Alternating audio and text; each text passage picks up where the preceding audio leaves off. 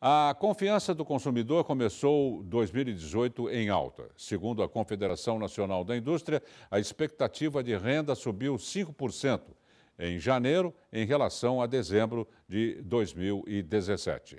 Com relação a dezembro do último ano, o crescimento da confiança do brasileiro foi de 2,4% no Índice Nacional de Expectativa do Consumidor. O indicador foi divulgado na última segunda-feira, dia 29, pela Confederação Nacional da Indústria. Segundo a CNI, houve crescimento na maioria dos indicadores que compõem o INEC, na comparação dos últimos dois meses. Entre os componentes que mais cresceram no período estão a expectativa de renda, que subiu 5,3%, o de expectativa de renda pessoal, com com aumento de 5,3%, e a expectativa de inflação, que melhorou 4%.